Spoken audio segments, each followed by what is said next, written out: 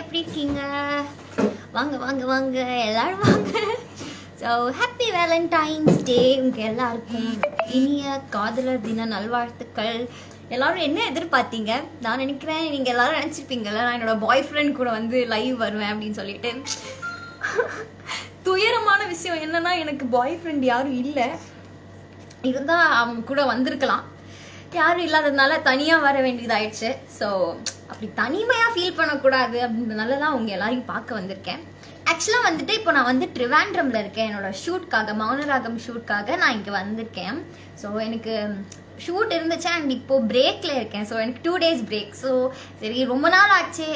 And hi Raveena ignore negative comments happy Valentine's day கண்டிப்பாக நான் நெகட்டிவிட்டியை பக்கத்தில் கூட எடுத்துகிட்டு போகிறது இல்லை நீங்கள் நான் சிங்க அசிங்கமாக கமெண்ட் திட்டினா அந்த கமெண்ட்டில் நான் படிக்க மாட்டேனே. பாபா அதனால எப்படி சொல்கிறது ஸோ நெகட்டிவிட்டியை நான் எடுத்துக்கிறதே இல்லை. And happy Valentine's day to you too Emma நீ என்னம்மா படிக்கிற? சொல் நான் வந்து டுவெல்த் படிக்கிறேன்.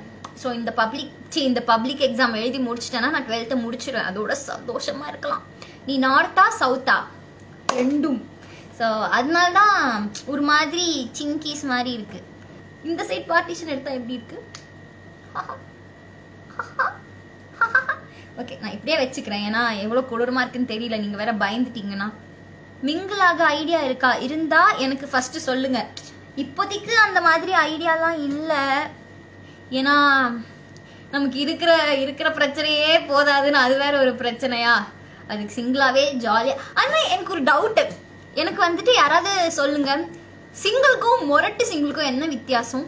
வேலண்டைன்ஸ் டேக்கு என்ன பிளான் ரவினா இம்ப்ரெஸ் பண்றது பண்றது தான் ஓ என்னை இம்ப்ரெஸ் பண்ணுறது தான் உங்களுக்கு எனக்கு ஒரே வெக்கமா இருக்கு. போங்க போங்க. எனக்கு ஹாப்பி வேலண்டைன்ஸ் டே யாரும் விஷ் பண்ணாதீங்க. எனக்கு ஆள் இல்லை. உங்கள் வாய்ஸ் சம் மேஜிக்கல் ஆக்சுவலாக நான் இப்போ கஷ்டப்பட்டு வாய்ஸ்லாம் சேஞ்ச் பண்ணி கொஞ்சம் அப்படியே பேஸ்லேருந்து பேசுகிறேன் ஸோ அதனால. ஹூ இஸ் யோர் க்ரஷ் ஒரு நிமிஷம் இருங்க. வலிமை அப்டேட் சொல்லுங்க ப்ளீஸா ஏங்க என்னையும் விட்டு வைக்கலையா நீங்க வலிமை அப்டேட் கேட்டுட்டு இருக்கீங்க? So who is your crush அப்படின்னு கேட்டிருக்காங்க. ஸோ க்ரஷ் வந்து எப்பயுமே நிரந்தரமாக இருக்கும் அப்படின்னு சொல்ல முடியாது. ஒருத்தர் மேலே ஒருத்தர் மாறிட்டே இருக்கும். அதுதான் க்ரஷ்ஷு ஸோ அழகாக ரசிக்க தெரியலனா மனுஷன் இருக்கவே முடியாது. ஸோ எனக்கு க்ரஷ் வந்து மாறிட்டே இருக்கும். அண்ட் அண்ட் இன்னொரு விஷயம் என்னன்னா க்ரஷ் வந்து மாறிட்டே இருக்கும். நம்ம வந்து லவ் பண்ணும்போது அந்த ஃபீலிங் வந்து அப்படியே ஸ்டாட்டிக்காக இருக்கும். அந்த ஃபீலிங் வந்து நமக்கு எப்பயுமே மாறவே மாறாது. ஒருத்தங்களை பிடிச்சிருச்சுன்னா அது எத்தனை வருஷம் ஆனாலும் அவங்களை பிடிச்சது பிடிச்சது தான் நம்மளால அவங்கள விடவே முடியாது. ஸோ அப்படிதான் நம்ம வந்து லவ்வுக்கும் க்ரஷுக்கும் வந்து வித்தியாசம் தெரியணும் இப்போ வந்துட்டு ஒருத்தவங்க மேலே நமக்கு க்ரஷ் இருக்கும். அது வேற இன்ஃபாக்சுவேஷனாக தான் இருக்கும். நம்ம டக்குன்னு போய் லவ் பண்ணணும்னு சொல்லிட்டு நம்ம அதில் இறங்கிட்டோம்னா திடீர்னு நமக்கு அந்த ஃபீலிங் ஃபேடவே ஆகி ஸோ அந்த மாதிரி பிரச்சனைலாம் நிறைய வரும். அதனால யாருமே அவசரப்பட்டு லவ் பண்ணாதீங்க. கொஞ்சம் வருஷம் போட்டோம். நம்ம மைண்ட் ஸ்டேபிள் ஆகட்டும். ஒரு முப்பது வயசுல லவ் பண்ணுங்க கரெக்டாக இருக்கும். ஸோ என்னடா இது? சின்ன பொண்ணு இவ்வளோ அட்வைஸ் பண்றா அப்பெல்லாம் நினச்சிக்காதீங்க. வயசுலாம் முக்கியம் இல்லை. நமக்கு எவ்வளோ அனுபவம் இருக்கு. நமக்கு அனுபவம்னா நான் வந்து எதுவும் எக்ஸ்பீரியன்ஸ் பண்ணல. எல்லாரும் கேட்டு கே ஐ மீன் எல்லாரும் சொல்றத கேட்டு நான் சொல்றேன். ஓகேயா லவ்லாம் நிறைய எக்ஸ்பீரியன்ஸ் இருக்கும் போலயே. அப்படி சொல்ல நான் அப்பயே நினைச்சேன் யாரோ இப்படிதான் சொல்ல போறீங்க நான் அப்படிலாம் இல்லை. அது வந்து நிறைய பேர் இப்போ இங்க கூட இருக்கிறவங்களே வந்து சொல்லுவாங்கல்ல தயவுசெய்து லவ்லாம் பண்ணாதீங்க நாசமா போயிடுவீங்க அப்படின்னு. அப்படி கேள்வி ஞானம் தான் எல்லாம். முப்பது வயசுல நான் லவ் பண்ணா என்ன? பண்ணலன்னு அப்படிலாம் சொல்லக்கூடாது. ரொம்ப தவறு. லவ் வந்து பண்ணும்.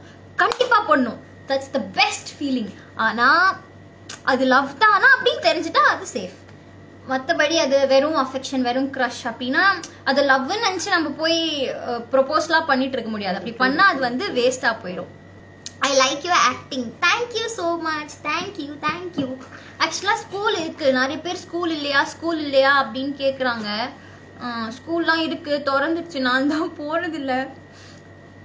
எனக்கு போகவும் பிடிக்கலை. ரொம்ப வருஷமா ஸ்கூல் போகாத மாதிரி திடீர்னு ஸ்கூல் போற மாதிரி ஃபீல் ஆகுது. Cook with Comali season three or Bigg Boss ஃபைவ்ல இருப்பீங்கன்னு நினைக்கிறேன். வாய்ப்பில்லை ராஜா. எனக்கு சமைக்கவும் தெரியாது பதினெட்டு வயசும் ஆகல ரெண்டத்துக்கும் ரெண்டுத்துக்கும் போக வாய்ப்பில்லை நீ என்ன ஊரு? நான் வந்து சென்னை தான். சென்னை இப்போ வந்து ஷூட்காக ட்ரிவாண்ட்ரம் வந்திருக்கேன். அண்ட் இன்னொரு விஷயம் என்னோட ஷூட் இங்கே ஷூட் நடக்குதுல்ல. அங்கே இன்னைக்கு எல்லாருக்கும் ஷூட் இருக்கு. நான் வந்து ரூமில் இருக்கேன். டூ டேஸ் எனக்கு பிரேக் ஸோ இங்கே என்னோட ஹாலில் வந்துட்டு யாருமே கிடையாது. இந்த ஒரு ரூமில் நானும் எங்கள் அம்மாவும் தனியாக இருக்கும். நைட் தான் வருவாங்க.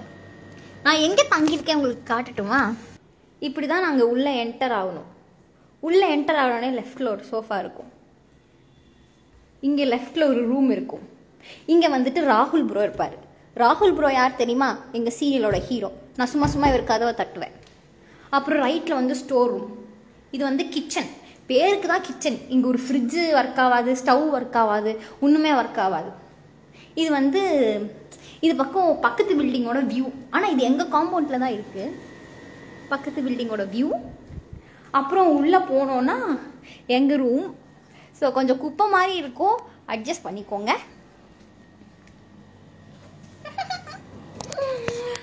ஓகேயா ஐயோ அழகுடா. அப்படின்னா சொல்லாதீங்க எனக்கு வெக்க வெக்கமா வரும். என்ன லிப்ஸ்டிக் ரொம்ப இருக்குத்த? ஒண்ணு இதெல்லாம் ஸ்கிரீன்ஷாட் எடுத்து போட்டுறாதீங்க. ஒண்ணுமே இல்ல. நான் ஒண்ணுமே போடல. பிச்சைக்காரி மாதிரி இருக்கேன். ஒரே ஒரு ஃபில்டர் மட்டும் வச்சிருக்கேன். ஸ்கின் வந்து கிளியரா தெரியணும் அப்படின்னு. அது இருக்கா போயிடுச்சான்னு கூட தெரியல அந்த ஃபில்டர் இருங்க பாத்துக்கிறேன். இருக்குன்னு தான் நினைக்கிறேன். தெரியல. போவோம் குத்து மதிப்பா. என்ன இப்போ? தலையா தளபதியா? தளபதி தான் ஆல்வேஸ் பட் தலையும் பிடிக்கும் but I love Thalapathy. Tell about Shruti அப்படின்னு கேட்டிருந்தீங்க. ஸ்ருதி அக்கா வந்துட்டு எனக்கு வந்து அக்கா. ஆனால் அவங்க வந்து தங்கச்சியா நடிக்கிறாங்க. தெரியுமா? நடிக்கிறாங்கன்னா சீரியல்ல வந்து எனக்கு தங்கச்சியா நடிக்கிறாங்க.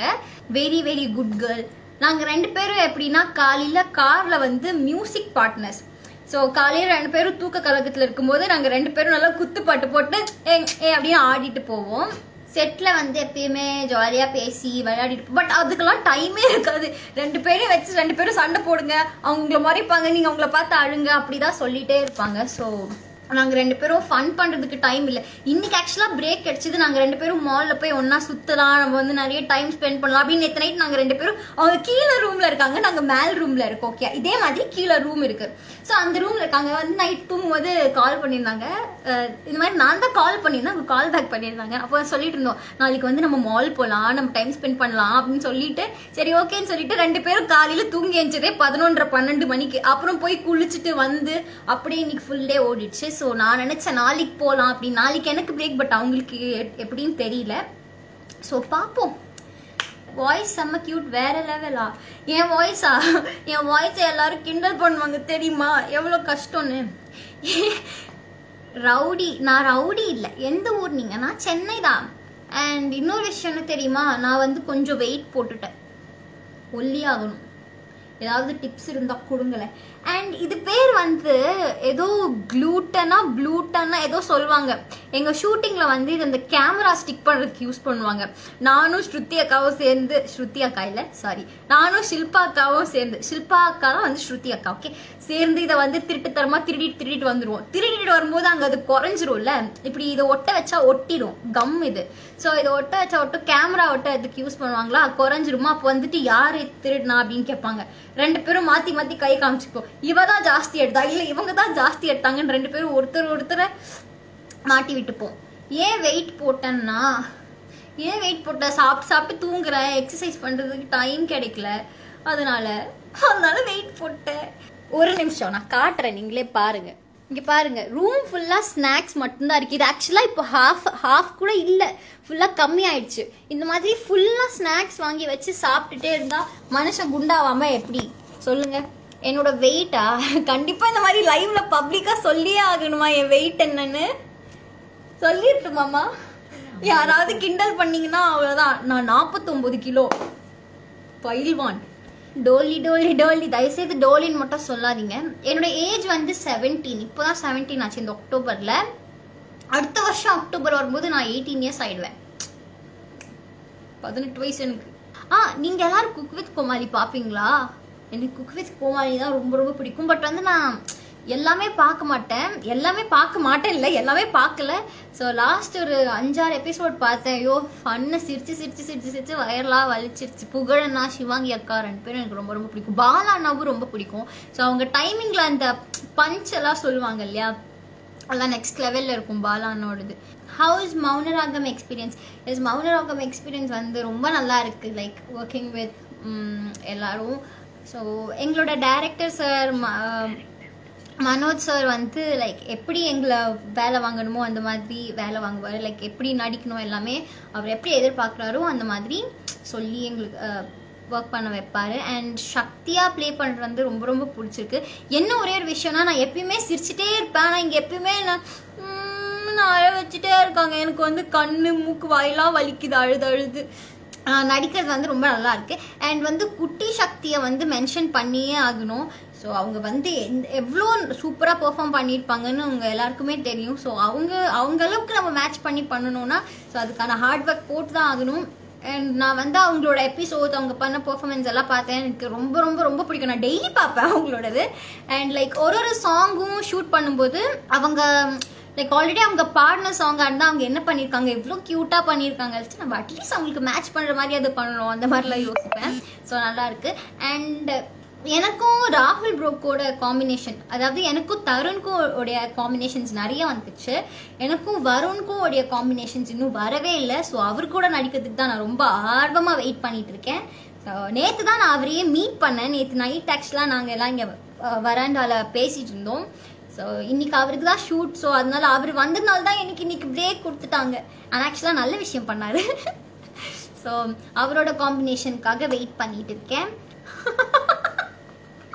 சாரி சாரி ஒரு கமெண்ட் படித்தேன் எனக்கு செம சிரிப்பு வந்துடுச்சு நான் ரவீனா லைவ்னு நினச்சி மௌனராகம் ப்ரொமோஷனில் ஜாயின் பண்ணிட்டேன் போல அப்படின்னு ஒருத்தர் கமெண்ட் பண்ணிட்டாரு. சாரி நான் ரொம்ப மௌனராகம் பத்தி பேசுறேன். நான் எனக்கு தெரியல. ஸோ நீங்கள் அதை பற்றி கேட்டதுனால அந்த பேஜஸ் எல்லாம் அதை பற்றி கேட்டதுனால தான் நான் அதை பற்றி சொல்லிட்டு இருந்தேன். மற்றபடி வேற எதுவும் இல்லை. நான் ப்ரொமோட் பண்ணலாம் வரல. சரி இருங்க நான் கவிதை யோசிக்கிறேன். நீ வார்த்தையால் விளையாடும் கவிதை ஒரு அழகு. உன் கருநிறமே உன் அழகு. எப்படி? எனக்கு கவிதைலாம் எழுத தெரியாது. சும்மா அடிச்சு விட்டேன். ரொம்ப மட்டமாக தான் இருக்கும் தெரியும். பட்டாம்பூச்சி கூப்பிடும்போது பேசக்கூடாதுல்ல பட்டாம்பூச்சி கூப்பிடும்போது பூவே ஓடாதே. காதல் தேனை சாப்பிடும்போது பேசக்கூடாது. இவ்வளோ வாய் பேசுறேன் எப்படி மௌனராகம் சீரியல்ல எடுத்தாங்க?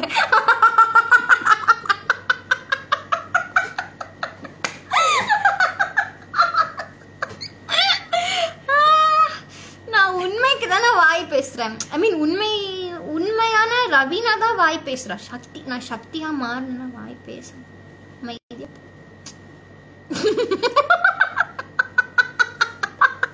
சோழி முடிஞ்சு. ஆக்சுவலாக எனக்கு விஜய் சார் சொல்ற அவன் தளபதி அண்ணா சொல்ற டைலாக் அது ரொம்ப பிடிக்கும். சோழி முடிஞ்சு. வாடா என் மச்சி வாழக்கா பச்சி போ உடம்ப பிச்சு போட்டுடுவேன் பச்சி அந்த பாட்டு எனக்கு ரொம்ப பிடிக்கும். Hi baby Kiruthika official hi Shakthi பாப்பா Shakthi meets Shakthi. True true true எப்படி இருக்கீங்க? ஸோ தேங்க்ஸ் சக்தி பாப்பா. Thanks for joining the live